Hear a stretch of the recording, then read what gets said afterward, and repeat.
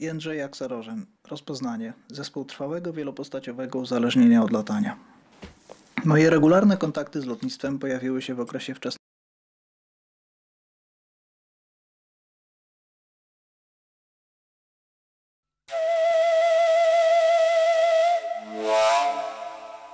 Historia choroby. Pacjent Jędrzej Aksarożen. Rozpoznanie. Zespół trwałego wielopostaciowego uzależnienia od latania. Moje regularne kontakty z lotnictwem pojawiły się w okresie wczesnego niemowlęctwa. W miarę upływu lat uzależnienie pogłębiało się. Dzieciństwo zaowocowało dwiema pułkami samolotów i zwycięstwem w zawodach młodzi modelarze na start. Pełną nadzieję na zmianę szkodliwych nałogów dawało wstąpienie do harcerstwa.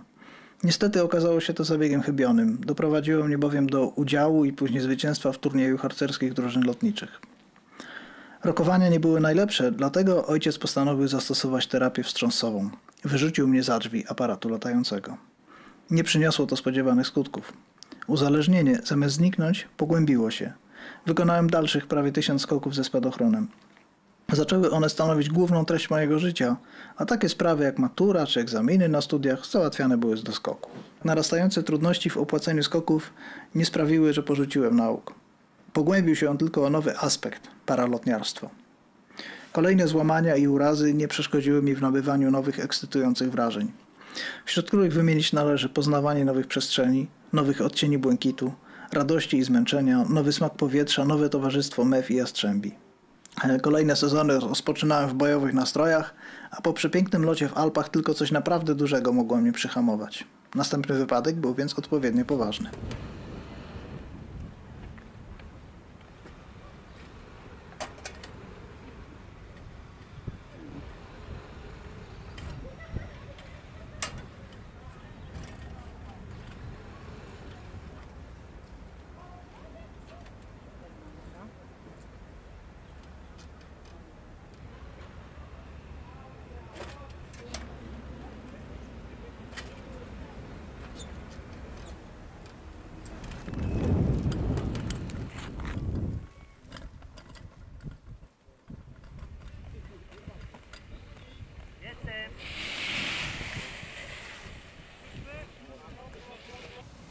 Na przykład tak, latałem na klifie w Gdyni i tam się lata z ptakami, bo tam e, jest sporo mew. Tylko, że mewa to jest jakiś taki ptak, nie wiem, ma umysłowość kury. Takie to głupie jest i ciekawskie. Wiesz, i, i lecisz w odległości 10 metrów dosłownie, to zagląda w komory, tam takie dziwnego, ale takie to jakieś takie bez pojęcia jest i nachalne. Natomiast jak jastrząb krąży, no to masz pewne, że tam jest noszenie. Tam jest noszenie i co więcej, że to jest najlepsze noszenie w okolicy. No więc lecisz do niego i nagle się udaje. Taka potężna, ale łagodna siła ciągnie cię w górę.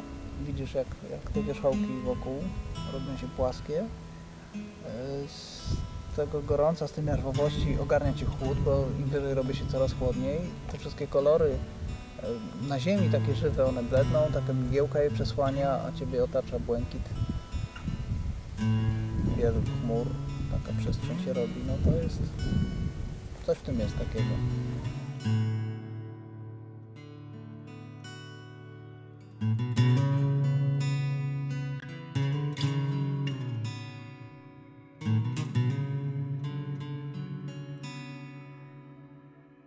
Koleżanka mi powiedziała, że wiesz, słuchaj, ale on lata. Ja mówię, no i co z tego?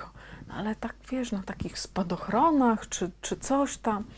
Słuchaj, chodź, bo on ma zdjęcia, mówię ci, są rewelacyjne.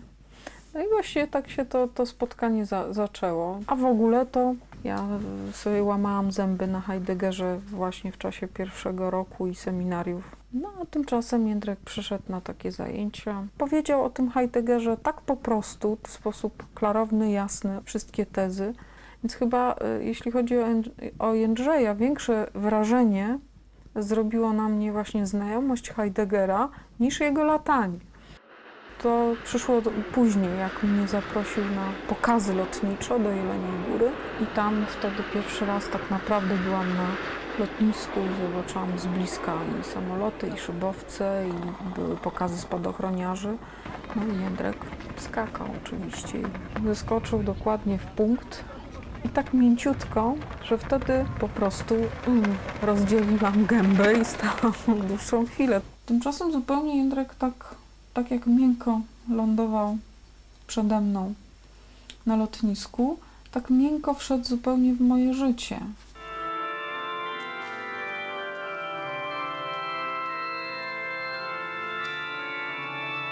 Jędrek zdecydowanie stanął naprzeciwko mnie, twarzą w twarz, tę przysięgę, on ją mówił do mnie. oraz że Cię nie opuszczę aż do śmierci. I nawet jak ksiądz powiedział, y, no, czy ty Hanno, prawda, ta formuła, to on nie powiedział Hanno, powiedział, czy ty Haniu.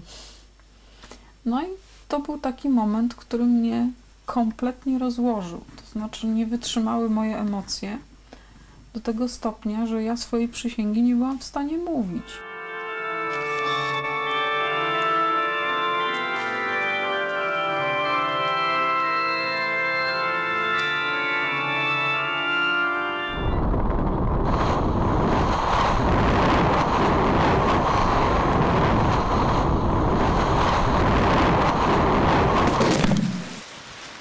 Nawet nie czułem bólu w pierwszej chwili, ale widziałem wyraźnie, że coś jest nie tak. To znaczy, y, to jest takie coś, bo wielokrotnie zdarzało mi się mocniej lądować i po zderzeniu, czy tam po stłuczeniu nogi jest takie jakby takie mrowienie w nodze. I ja tutaj miałem podobne wrażenie, takie, nie, nie czuję nóg normalnie, ale tak silne mrowienie. Myślę sobie, no, przywaliłem, ale no trudno, wstanę i ten, i będzie fajnie. I tak się zebrałem do wstawania, bo jakoś to było, że leżałem na boku i się nagle okazało, że coś to jest poważnie nie tak. Ja wiedziałam tylko, że był wypadek. Nie znałam szczegółów, nie wiedziałam. Znaczy, dotarło do mnie, że Jędryk walczy o życie i że to życie jest na włosku. Jechałam i płakałam. Odebrał mnie z dworca tata i od razu pojechaliśmy do Kamiennej Góry. No i wpuszczono mnie na oddział ten pooperacyjny intensywnej opieki. No i, no i leżał taki Jędrek mm, z różnymi rurkami.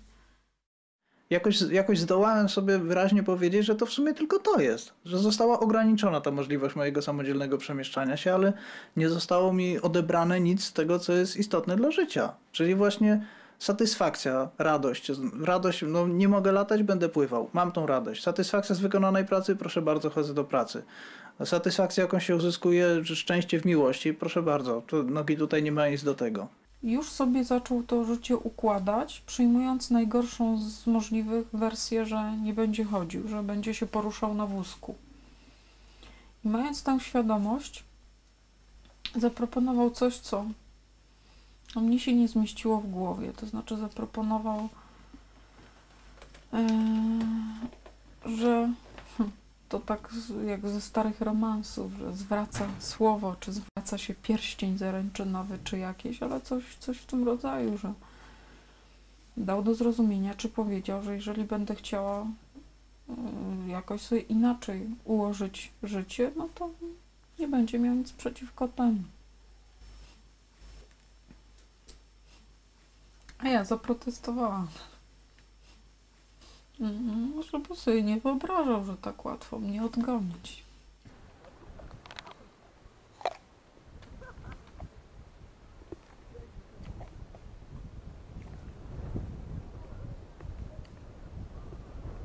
Chociaż muszę ci powiedzieć, że jak leżałem pierwsze tam parę miesięcy w łóżku po tym, po tym wypadku nieru- nieruchawy, to jak sobie pomyślałem o locie, to wiesz, to mi ciarki przeszły. Ja przez dwa lata leżąc na brzuchu, to nie mogłem, rozumiesz, nogi podnieść w ten sposób, wiesz, żeby ją podnieść z tej pozycji do góry. No. Tak, tego ruchu w ogóle przez dwa lata nie mogłem zrobić. Myślę, kurczę pieczone, co to z tego będzie. Ale dzięki temu, że górę miałem, wiesz, to na tym chodziku mogłem w ogóle się ruszać, wiesz, i ćwiczyć. Ja 8 miesięcy leżałem w szpitalu. Ale ważne są te pierwsze godziny po wypadku. Tak, parę dziesiąt minut, słuchaj, musi, muszą być włączone sterydy natychmiast, bo inaczej potem nie, to są zmiany nieodwracalne, uszkodzenie jest już takie, że kurczę, Ja nie ma miałem co wypadek gdzieś o 14 i na stół trafiłem o pierwszej w nocy z, tych Co różnych ty gadasz? powodów. No, 7 godzin, tak? Ja walnąłem o 15 No. tam w Basano. Słuchaj, y, ambulans ze stoku, dopiero przy nich odzyskałem przytomność. Śmigłowiec czekał na łące. Za 15 minut wylądowałem w neurochirurgicznej klinice w Treviso. tomokomputer, z tomokomputera na salę operacyjną, słuchaj. No i to jest różnica między wózkiem a chodzeniem.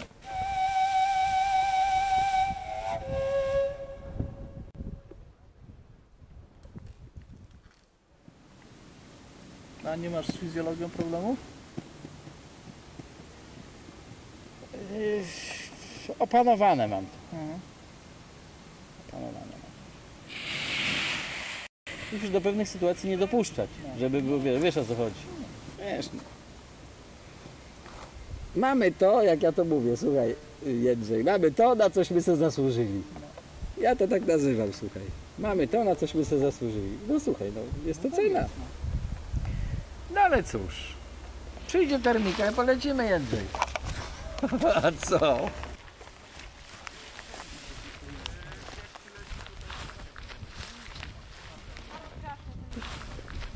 To jest problem.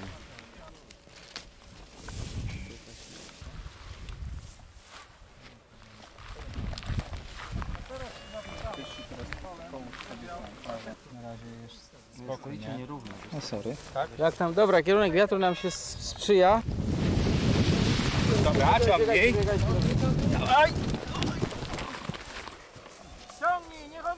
Szybko mu Kasia! Jak ja miałbym, wiesz, spędzać resztę życia, wiesz, w fotelu przed telewizorem, to pierniczę takie życie. Nie miałbym sumienia łazić za ludźmi i ich prosić, chłopaki, no tu wiecie, chciałbym sobie polatać, to zorganizujcie mi to. I to się odbyło poza moją inicjatywą. Oni sami zbudowali taki wózeczek, taką deskę na kółkach, maszynę startową. Oblatali ją sami, wypróbowali, że to działa i obmyślili, jak to zorganizować, żeby mnie wysłać w powietrze.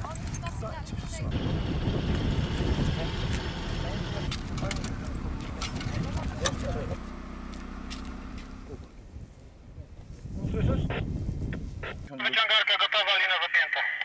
Prosicie wstępny? Pilot gotów, yy, prosimy wstępny. Spokojnie.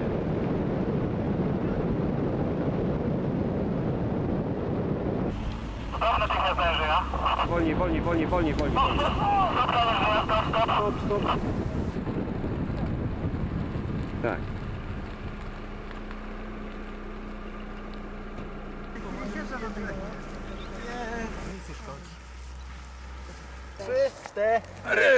Ściągnąłeś mi go.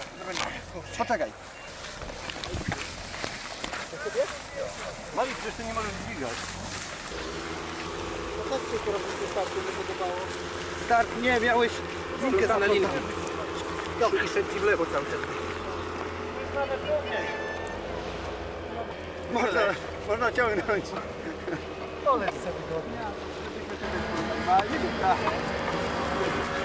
za ten start. Markus, jedź wybieraj luz na linię.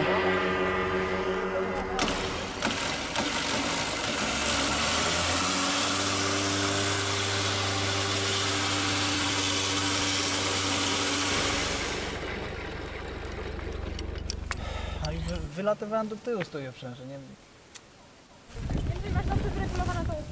No właśnie fatalnie było. No właśnie, bo Markus mówi, żebyś sobie wyregulował. Nie wiem, co tu trzeba zmienić. Jezioro przeskakujesz, wiesz? A pływać umiesz. Ale to nie jest kierunek nawet na jezioro. Jak będziesz kręcił Tomi, to na tą drogę już będziesz miał Ale podpisane. wzdłuż jeziora będziesz szedł. Mam aparat. Czy on jest Najwyżej aparat, to mogę, mogę wziąć telefon. telefon by ci się przydał. Kto tam jest na końcu holu? Wiele, tak? Dobra, dajcie naciąg wstępny. Jesteśmy Grzesiu? Jesteśmy gotowi. Jazda. Jak? Nie wiem kto. Jazda, mamy dobry wiatr. Dobrze, przepraszam cię, jeszcze... Lewa,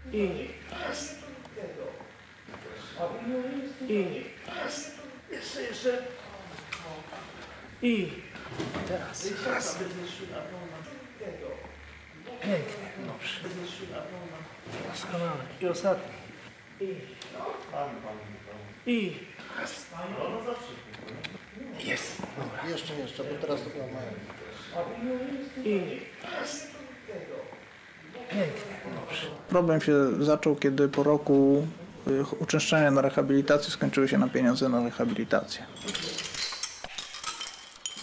Bo Kasa Chorych też tam finansuje 3 tygodnie czy jakoś, tak? A ta rehabilitacja, która jest mi potrzebna, gdybym miał chodzić w założeniu, no to, to ona jest obliczona na, na lata.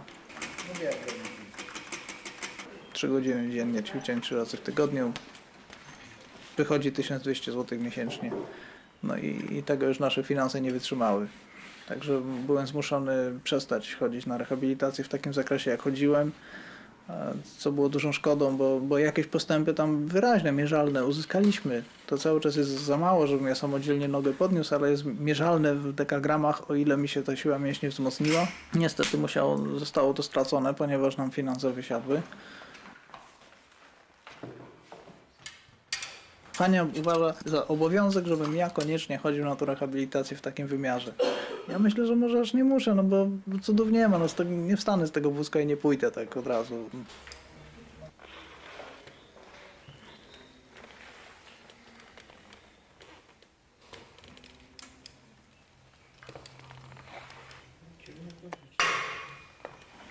Trzeba, trzeba to życie przeżyć tak, jak jest. No, a ona jakoś uważa, że ja absolutnie powinienem Ja myślę, że mi wystarczyło raz na tydzień, raz na dwa, żeby po prostu utrzymać tą sprawność fizyczną. Już nie tam, żeby czegoś uzyskiwać, ale ona się czuje zobowiązana, że powinienem i to ją tak motywowało cały czas do tego, żeby tą pracę jednak znaleźć też dla siebie.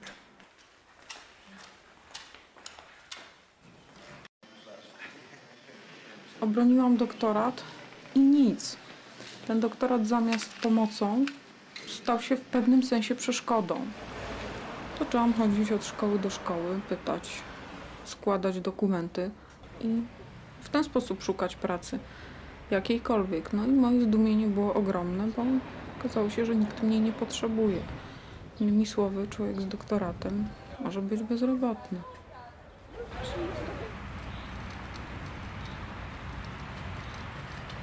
O kurde, czekaj.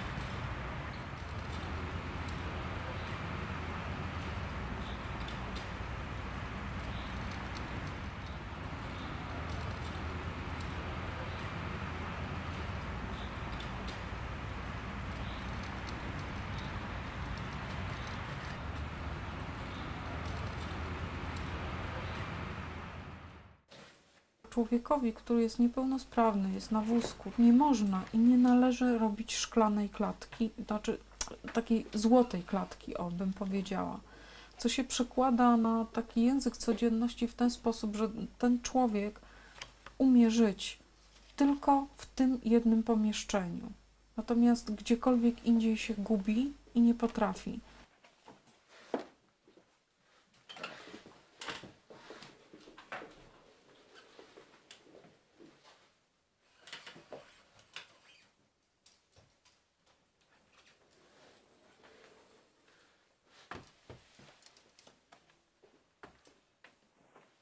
Dobra, przybij piątkę i opowiadaj, co słychać. No stara bieda. Mnie interesuje ten wózek. No w Spale byłem rok temu, No. no. wiedziałem krótkie wózki miałem. Praktycznie wszystko to pan na palterach jeździło. To się nie przejmuj. Ja, ja mam, widzisz, polski wózek, dużo ludzi jeździ na polskich wózkach. No, a, ty, a w ten sposób jesteś w stanie balans zrobić? No, to, a to inna rozmowa. Dobra. Okej, to pojedziemy do klubu, bo tam mamy, wiesz, tego odpowiedniego, mamy przeszkody, mam, mamy asekurację.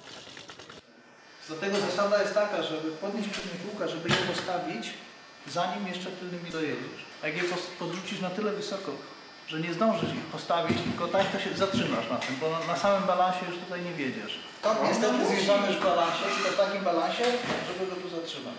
Żeby nie pojechać od razu, tylko przytrzymać, stanąć dokładnie na stopniu, bo to daje zniszczenie ze sobą. To zobaczymy jak Postaw, musisz koło. No veramente. Renzo do tyłu bardziej tam. Nie, nie, nie, na czerwono.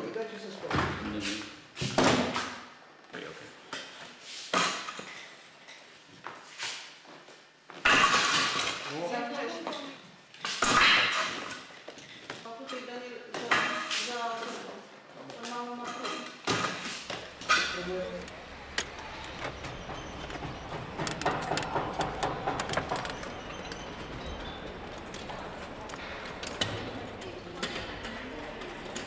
Zajęcia ze studentami e, prowadzę jakby z tego, co mi każą. Ja tam się zajmowałem tematyką, która jest związana, znaczy na której się jakoś tam znam, z którą mam związek przez ten mój doktorat, to znaczy e, opowiadamy sobie o hermeneutyce. To jest taka specjalizacja filozoficzna. Praktyka wygląda tak, że ja muszę być zacewnikowany na stałe. To się jakoś tam przykleja i no, niewiele potrzeba, żeby się rozkleiło. No i potrafi tak być, że potem, nie wiem, jest, jest druga godzina wykładu, a ja się nagle orientuję, że co, coś mi tu śmierdzi. No tak, to ja. I co ja mogę zrobić? No nic, no może odsunąć się trochę, gdzieś się stanąć bardziej za katedrą, ale no już, no, no tam nawet nie ma, nie ma fizycznie jak sobie tego poprawić ani nic. No muszę tą godzinę jeszcze odczekać, jakoś do domu dojechać. No trudno, no takie są realia. No. Szczęśliwie od tego się nie umiera. Okazuje się, że dla awangardy piękno przestało być kategorią interesującą. Natomiast w sztuce neoawangardowej nie ma już mowy o pięknie. Jeżeli w estetyce jako nauce pójdziemy drogą poznania i będziemy mówili, że nie ma piękna w przyrodzie, w pięknym liściu, który yy, oto zebrałem w moich kwiatach wiśni w moim sadzie, w pędzących fraktalach chmur na niebie.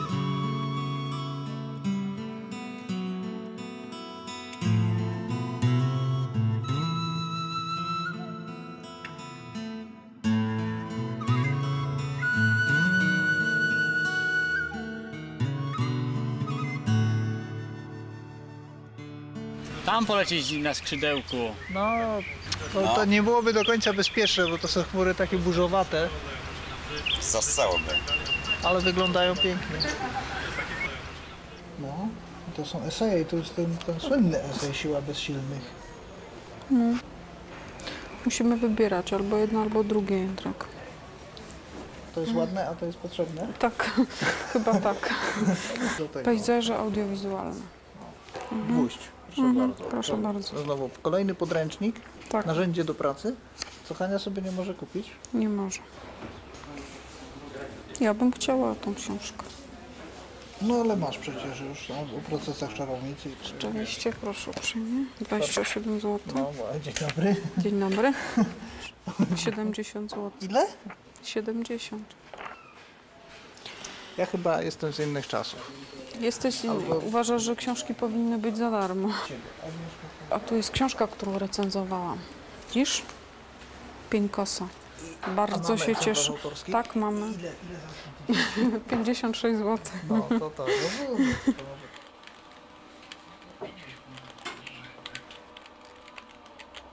Drodzy piloci, w Borsku daliśmy szansę naszemu Jędrzejowi znów zbić się w powietrze. Niestety Jędrzeja długo jeszcze nie będzie stać na skompletowanie sprzętu. Co sądzicie o złożeniu się dla niego na glajta? On sam nigdy o to nie poprosi, a za to, że ja to zrobię za niego, pewnie mnie zabije. Ale może moja śmierć czemuś posłuży. Pozdrowienia, Mali. Na początek obydwoje z Kaśką deklarujemy po 50 zł. Jest pierwsza setka. Grzesiek. I jeszcze 100 zł ode mnie, Tomek. Nie znam Jędrzeja osobiście, ale podziwiam go zajebiście. Daję 50 zł. Mierzwik. Sam nie mam kasy. Zbieram na swój pierwszy sprzęt, ale jak sobie wyobrażę, czym dla tego faceta jest możliwość polatania, dlatego zaraz po wypłacie daję 50 zł, jak w banku. Michał G. Trzeba było widzieć twarz Jędrzeja po tych lotach. Mali, jutro do banku i dawaj tu numer konta. Agata. Na koncie mamy już 2090 zł. Mali. Dodaję tę dychę dla równego rachunku. Batman. Mali, pizda, jesteś nieoficer, jeśli twierdzisz, że glajt to wszystko. Uprząż i resztę, Jędrzej też dostanie i kropka. Markus. Markus, nie wiem o co ci chodzi. Jak się mocno nudzisz, to weź miotło i zamiataj. Glajt jest już u mnie w domu, a uprząż jedzie z Wrocławia. Mali. Dobra, biorę się za miotło i będę zamiatał. Markus. Opowiem wam coś, co mnie spotkało w niedzielę. Wykonaliśmy z Jędrzejem lot równoległy. Był zdrów jak ryba. Tam w powietrzu jest normalnym facetem. Po prostu panem pilotem, takim jak ja czy wy. Pozdrawiam. Mali. Więc tak, zaczniemy od najmniejszych. Panie Kołecki, bardzo, bardzo prosimy. To dostałeś w prezencie od naszego fundatora, Dariusza K. Niech żyje Dariusz K. po raz pierwszy. Dostałeś też wariomet Śliczny. No, od nas w prezencie. Nie zepsuł. Uprząż. Yy, kupiliśmy za cenę tajemnica. Ale za dobrą cenę. Żeby ładnie wyglądało. pije, wiesz? No zostaw, nic mu tam nie przestawia. nie stać. On na ciebie. mówi ci, że strasznie w jajka pije. Ale no. bo ty stoisz, a on tylko siedzi, rozumiesz? Rozumiem, tylko że musisz krzyczeć. Wytłumacz, że to jest dla niego specjalnie zrobione. i- Przecież mówi ci się, że... Kaniu, ale powiedz tak szczerze, tak od siebie. Powiedz, że nie masz do nas pretensji. No. Po prostu jesteście kochani wszyscy. Wiesz kiedy ja tu ostatnio raz latałem?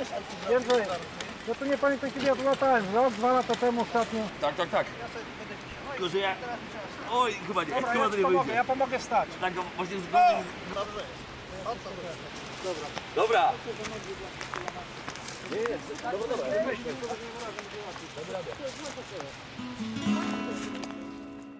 To, że wróciliśmy na ten klif teraz y, we wrześniu, y, to było symboliczne zamknięcie jakiegoś kręgu, dlatego że wróciłem na to miejsce, gdzie wiele, skąd wiele lat temu zaczynałem swoją karierę jako dobry pilot.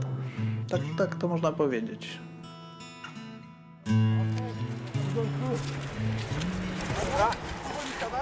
O Jezus, lecę. No kurde. Ja, powiedz. ja jestem zmęczony sam. Dobra. Ła, spoko będzie. Oj, sorry. Okej.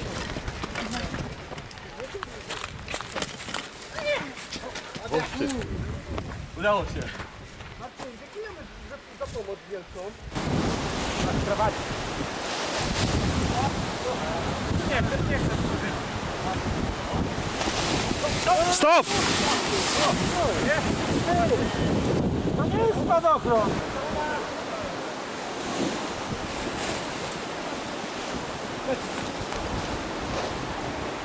Ja pierdykam, spokojniej!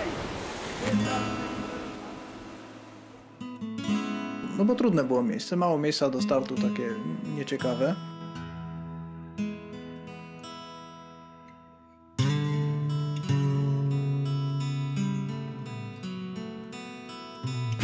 W siedzenie, kiedy się okazało, że ja na tym nie tylko udało mi się tam wystartować, ale i wylądować.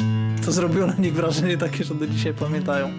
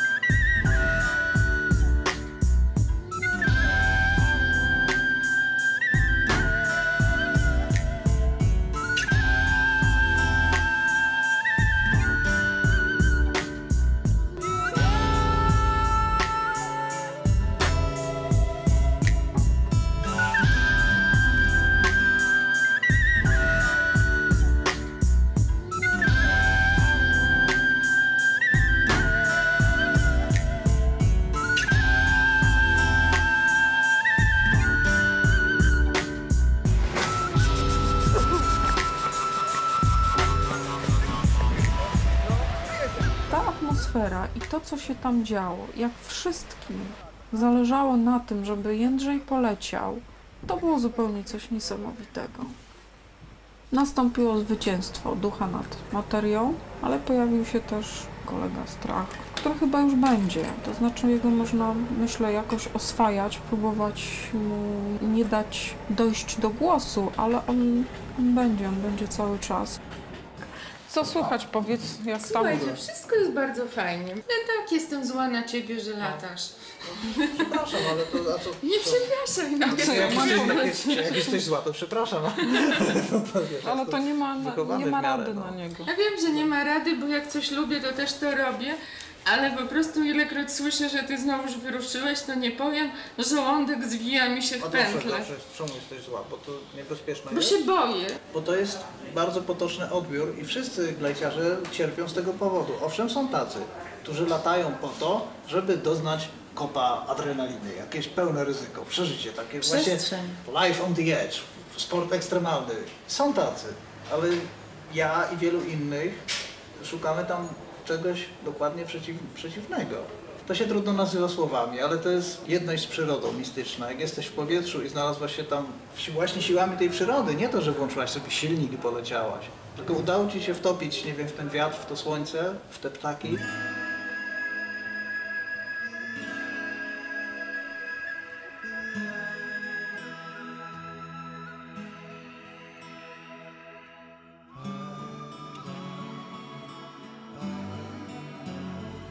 Łatwo jest być ze sobą, jeżeli wszystko się dobrze układa w sensie pieniędzy, zdrowia, kariery.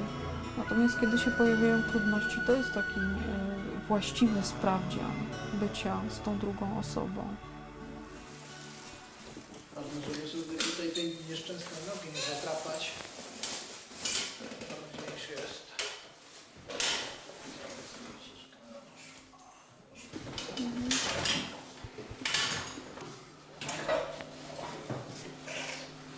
Przygniotłem sobie trzeba. Jeszcze trochę? Okej. Ostrożnie. Okej. No. E, Więc to się robi technicznie w ten sposób, że się rozszerza się odbyt palcem najprościej. No i już. To jest to, że ja kompletnie nie mam czucia normalnie człowiek czuje, kiedy musi iść do łazienki, a ja tego nie czuję i to jest chyba najbardziej przykre z tego, co się zdarza. A, No bo to wtedy człowiek jest taki zafajdany, nad tym nie ma kontroli niestety zupełnie, no to, to jest wtedy przykre takie mycie, no ale cóż trzeba. Jezus, ciężkie życie. Jesteśmy dobrzy.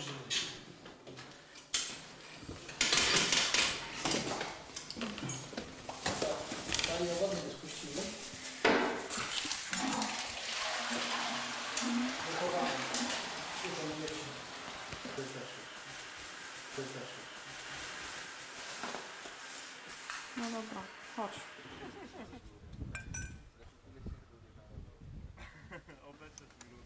Spotkałem Leszka i Leszek powiedział, że on właściwie tak myślał o tym, jakby to zrobić, żebym ja latał tak lepiej, żeby to nie było tak zupełnie i że on zbuduje taki wózek.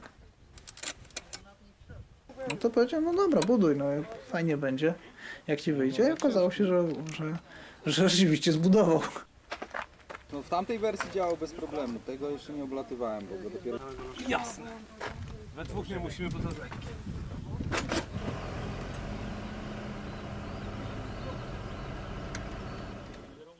Tak samo jak chłopcy nad morzem testowali najpierw ten wózek na sobie, e, tą pierwszą deskę startową, e, tak myśmy tutaj postanowili e, zaeksperymentować najpierw z kolegą. Idziemy.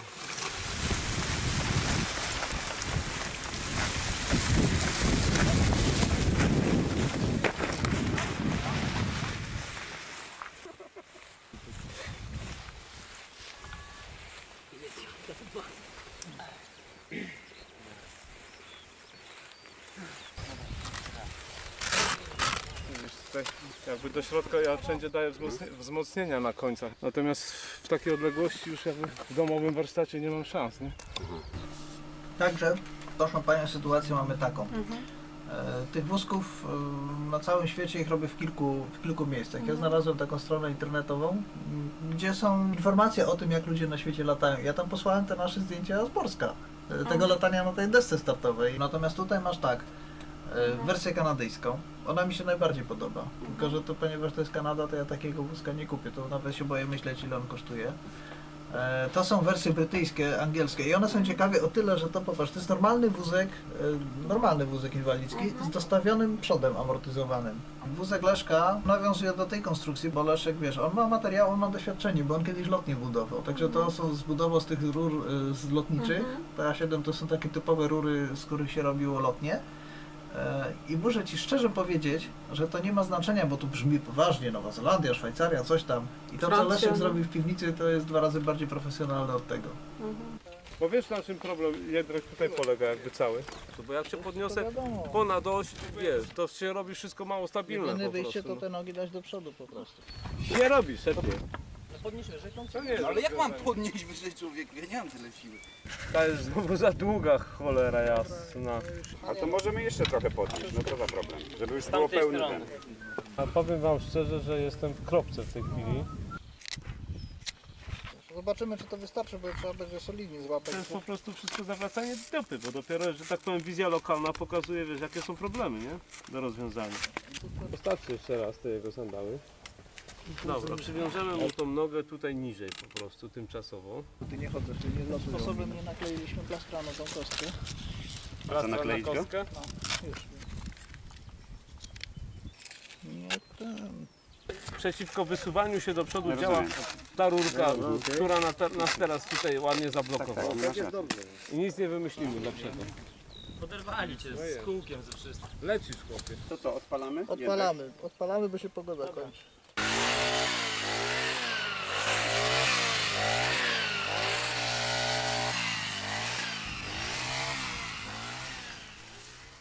Okej, mega ostrożnie, jazda, jazda, jazda.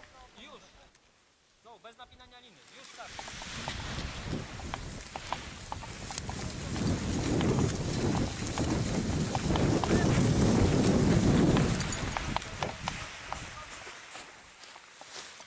Stary? Widziałem, czułem. Znaczy wiesz co, no stabilność tego wózka jakby tak... Nie wiem jak to powiedzieć, ale strasznie dużo sił się składa tutaj, nie? Oś łącząca tylne kółko z bocznym kółkiem jest blisko środka ciężkości po, po tych momentach może go wywalić po prostu. No ale nawet jak go wywali, no to dopracujemy.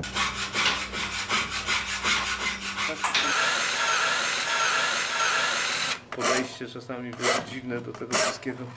To jest i to, to jest PA7. Ja tutaj muszę zobaczyć, bo tam jest dziurawe i to złamać. Wiesz co, bo jakąś użyłem gotową taką śrubkę No i po co, prostu. tak wystarczy? Wymienimy ją. Uwaga, wyciągarka. Jazda, jazda, jazda. Go, lecę. Go, go,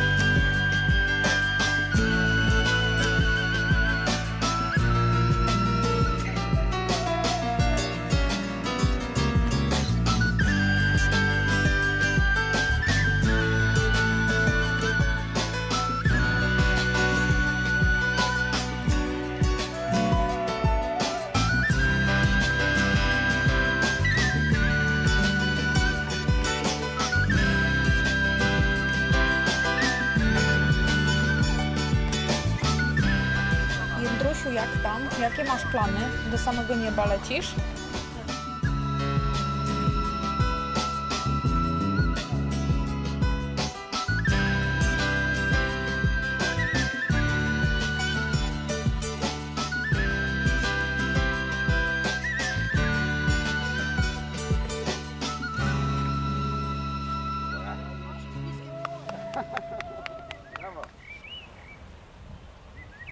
przed wypadkiem Jędrka nie zdążyliśmy mieć dziecka. Chcieliśmy mieć dzieci, chcieliśmy, planowaliśmy to.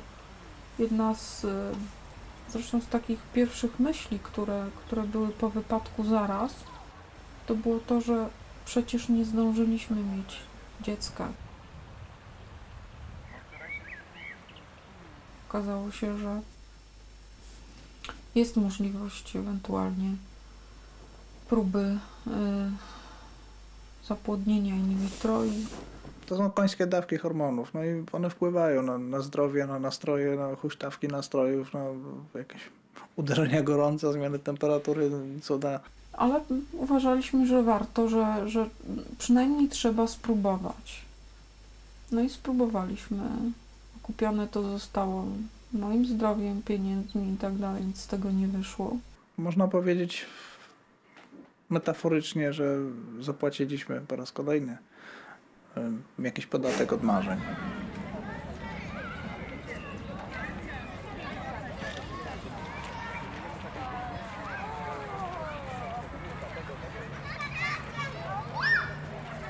Jak bardzo to jest satysfakcjonujące widzieć, kiedy w nowym człowieku odnajdujesz swoje własne gesty, jakieś swoje zachowania, swoje rysy charakteru. No, to rzeczywiście tak musi być, to musi być fascynujące.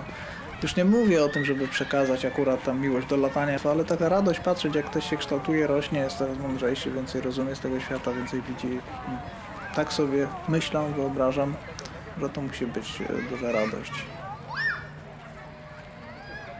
Mamy ogromnie dużo dodania, do podzielenia się.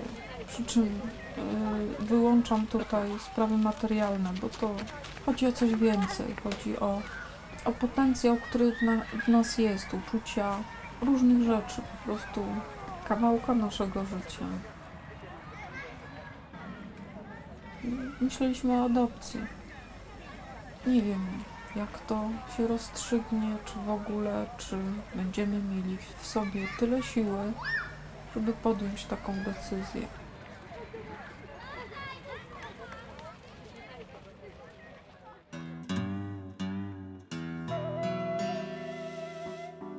Pomyślałam sobie, że jeżeli Jędrzej lata jest znakomitym pilotem, to ja mogę pójść trochę na skróty.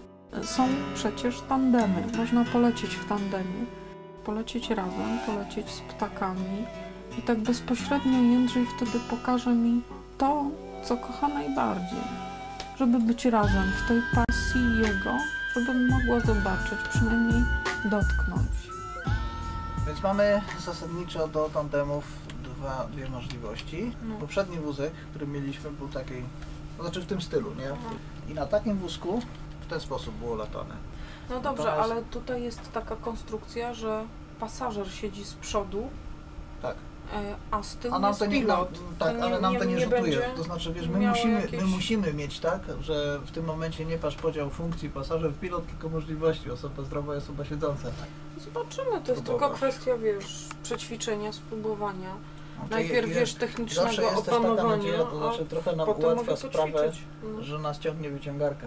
I nawet jak się, jakbyś się miał wywalić, to wyciągarka Dziękuję. nas ciągnie, a skrzydło, no wiesz, to jest jedyne, albo na dobrą sprawę to jest jedyne niebezpieczeństwo, które nam grozi. Że ja się Że się wywalę. przy starcie potkniesz i wywalisz. Żadnego puszczania, tylko ten. Łapie. Nie puszczamy, tylko podchodzimy do przodu. Normalne komendy, jazda, jazda, jazda, wstęp. Go!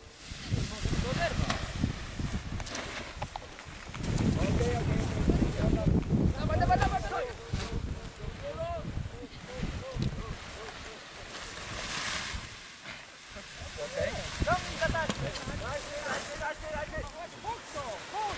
No, Znaczy lądowanie, no jak będzie normalny warun i Jędrzej wleci prosto pod wiatr, to w ogóle jest banalne, bo to siedzisz w miejscu, myśmy kroka nie zrobili do przodu. Szczególnie Jędrzej. Nie